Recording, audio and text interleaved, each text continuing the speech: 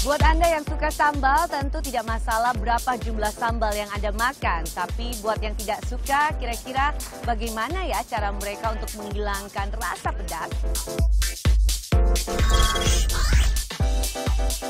Karena khawatir terkena penyakit jantung, maka kolesterol dan lemak jenuh cenderung dihindari.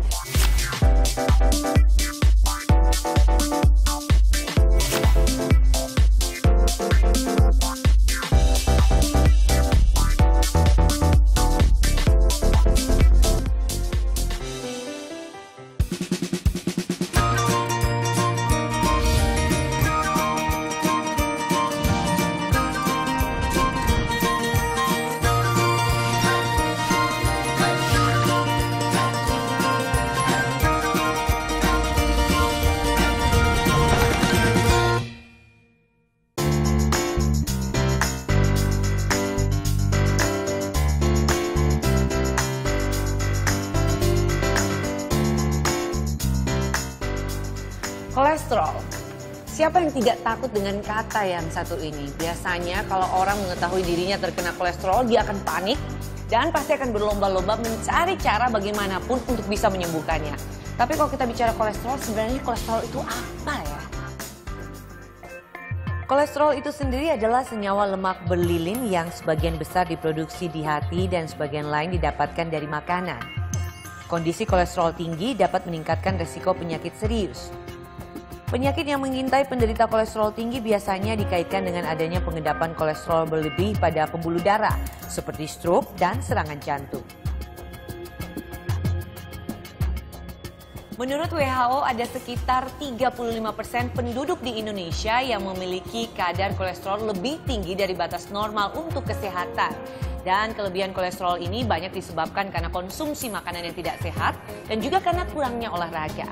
Nah kalau kita bicara soal penyebab nih, apa sebenarnya penyebab dari kolesterol itu?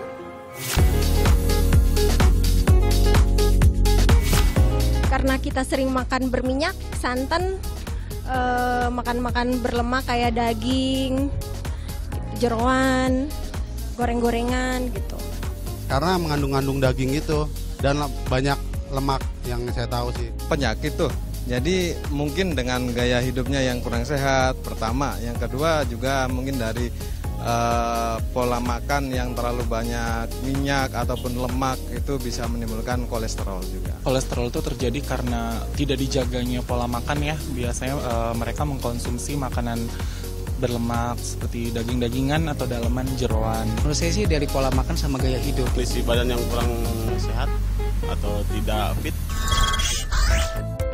Nah, kalau kita bicara soal kolesterol, sebenarnya ada dua faktor penyebab kolesterol. Faktor yang pertama adalah faktor yang tidak dapat dikontrol dan faktor yang kedua adalah faktor yang dapat dikontrol. Kalau kita bicara soal faktor yang tidak dapat dikontrol, biasanya ini adalah faktor keturunan. Kalau ada orang tua yang memiliki kolesterol tinggi, biasanya anak-anaknya ini ada kecenderungan memiliki kolesterol tinggi. Ada lagi faktor umur. Setelah usia 20 tahun, kolesterol cenderung meningkat. Untuk pria, kolesterol akan mudah naik setelah umur 50 tahun. Pada wanita, kolesterol akan mudah untuk naik setelah masa menopause.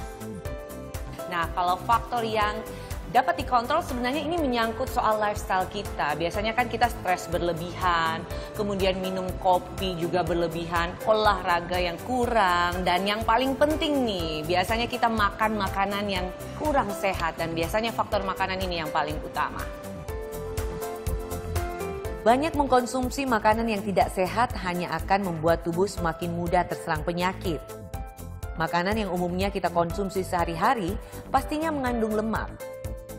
Namun, lemak tak selamanya buruk bagi tubuh asalkan kadar lemak yang kita peroleh dari berbagai sumber makanan tidak lebih dari batas normal. Untuk mengetahui jenis makanan apa saja yang memiliki kadar kolesterol yang aman, cukup tinggi sampai tinggi sekali, ini dia makanan dengan jumlah kolesterol tiap miligram per 10 gram. Jenis makanan yang masuk dalam kategori aman dikonsumsi adalah karena kadar kolesterolnya yang rendah. Putih telur ayam memiliki 0 mg per 10 gram. Susu sapi non-fat memiliki 0 mg per 10 gram. Daging ayam tanpa kulit memiliki 50 mg per 10 gram. Ikan air tawar memiliki 55 mg per 10 gram yaitu ikan mujair. Daging kambing tanpa lemak memiliki 70 mg per 10 gram. Jenis makanan yang masuk kategori boleh dikonsumsi sekali-kali. Iga sapi memiliki 100 mg per 10 gram. Daging sapi memiliki 105 mg per 10 gram. Ikan bawal memiliki 120 mg per 10 gram. Jenis makanan yang masuk kategori kadar kolesterolnya cukup tinggi, yaitu Daging sapi berlemak memiliki 120 mg per 10 gram. Gaji sapi memiliki 130 mg per 10 gram. Keju memiliki 140 mg per 10 gram. Sosis daging memiliki 150 mg per 10 gram. Udang memiliki 160 mg per 10 gram. Belut memiliki 185 mg per 10 gram. Jenis makanan yang masuk kategori kadar kolesterol berbahaya yaitu santan 185 mg per 10 gram. Susu sapi memiliki 250 mg per 10 gram. Coklat memiliki 290 mg per 10 gram. Margarin memiliki 300 mg per 10 gram. Jeroan sapi memiliki 380 mg per 10 gram. Kerang putih memiliki 450 mg per 10 gram. Sedangkan jenis makanan yang masuk kategori pantang untuk dikonsumsi karena memiliki kadar kolesterol yang sangat tinggi adalah cumi-cumi memiliki 1170 mg per 10 gram. Kuning telur ayam memiliki 2000 mg per 10 gram. Otak sapi memiliki 2300 mg per 10 gram. Telur puyuh memiliki 3640 mg per 10 gram. Ayo, makanan apa yang sering Anda konsumsi? Jawab yang jujur loh. nah, buat Anda yang sudah terkena ataupun belum terkena yang namanya kolesterol, memang wajib untuk mengawasi setiap makanan yang masuk ke dalam tubuh.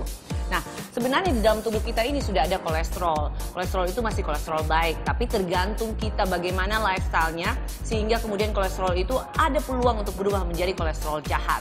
Nah, kira-kira apa yang bisa kita lakukan agar supaya itu bisa kita hindari? Kalau misalnya kita belum terkena kolesterol. Jadi kolesterol dalam darah kita masih normal, nggak ada salahnya kita tetap menjaga makanan kita. Karena di dalam makanan yang mengandung kolesterol tinggi, itu biasanya mengandung lemak jenuh yang tinggi juga. Kolesterolnya tidak dibatasi berapanya, tapi lemak jenuhnya dibatasi. Jadi secara tidak langsung asupan kolesterol dari makanan tersebut ya tetap tidak boleh berlebihan. Karena kalau kita tidak batasi berlebihan, maka risiko kita untuk kolesterolnya naik, terkena berbagai penyakit seperti uh, sakit jantung atau diabetes atau stroke atau berbagai penyakit akan meningkat.